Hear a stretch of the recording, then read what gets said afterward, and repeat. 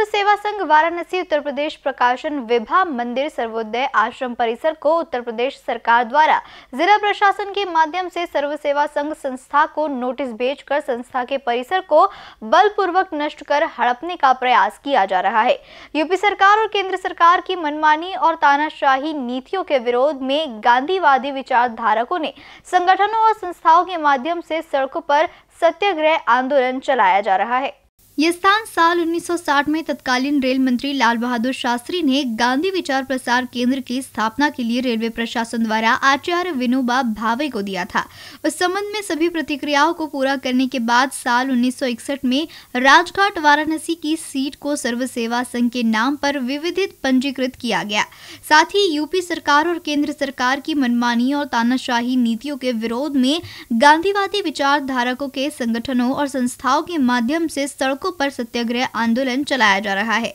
इसी को लेकर वाराणसी में पिछले एक महीने से लगातार आंदोलन चल रहा है। इस सत्याग्रह आंदोलन को समर्थन देने के लिए वर्धा जिला सर्वोदय मंडल और गांधीवादी विचारधारा के अन्य संगठनों के माध्यम से महात्मा गांधी की प्रतिमा के सामने ये आंदोलन किया गया।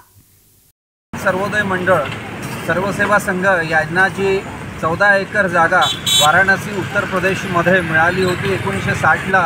आचार्य विनोबा भावे आणि लालबहादूर शास्त्री यांच्यामार्फत आचार्य विनोबा भावे यांना गांधी विचारांचा प्रचार प्रसार करण्यासाठी आणि काम वाढवण्यासाठी रचनात्मक काम करण्यासाठी ती जागा मिळाली होती ज्याच्यावर प्रकाशनाचं काम विचार प्रचार प्रचाराचं काम तिथून होत आहे. त्यासोबतच जयप्रकाश नारायणांनी तिथे गांधी विद्या संस्थान नावाची गांधी विचारांची एक संस्था उभी केली होती ज्याच्यामार्फत गांधीजींच्या विचारांचं शिक्षण प्रशिक्षण होत होतं. आता यावर्षी अचानक त्या जेव्हा की ते जागेचं कागदपत्र सगळे सर्वसेवा संघाच्या नावाने आहे आणि ते त्याची रितसर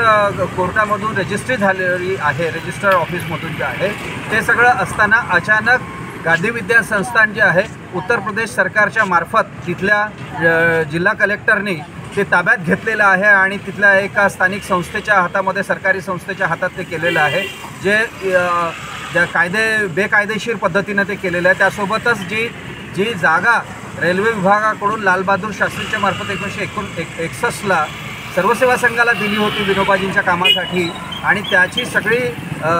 विक्री पत्र वगैरे झालेले असतानाही ते सगळं डावलून तिथल्या डी एमने म्हणजे जिल्हा कलेक्टरने आदेश देऊन ते सगळे